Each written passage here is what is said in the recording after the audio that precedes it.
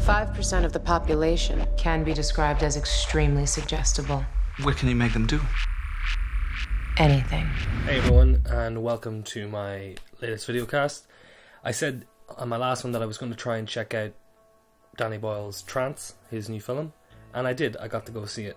I was looking forward to going to see this because I like Danny Boyle, and I think I think anyone I, I don't know anyone that doesn't really like him because he's he's very different. He's done very different um, films, you know, th- thematically different, and uh, I suppose he appeals to various different types of people, like from Slumdog to 127 Hours. So he's he's really kind of he's got a broad, um, you know, palette as, as when it comes to films. He he's kind of similar to Ang Lee in that sense.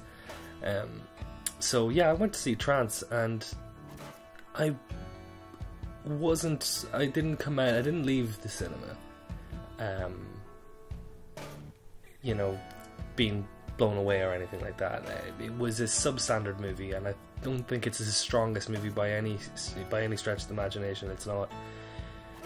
It's okay. It loses itself. Unfortunately, like a lot of Danny Boyle films, he I find he loses the plot kind of in the third half. In the you know in the in the last third third half, the last third. Simon, close your eyes. I want you to follow my voice. I like your voice. And imagine you're in a place where you feel secure, in control, and you feel so comfortable, so relaxed. All your problems Where is the painting?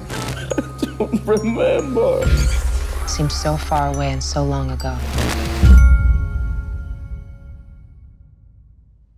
I remember that day. cast wise, you know, on the on the on the forefront, it's it, it looks really good. It's got a great premise, um, like an action crime uh, heist, you know, movie with with twists and turns in it. First two thirds of the movie, are, I think, are quite strong, and you know, you you you're enjoying the characters, and you know that there's something there, but you're you're still following away and waiting to see.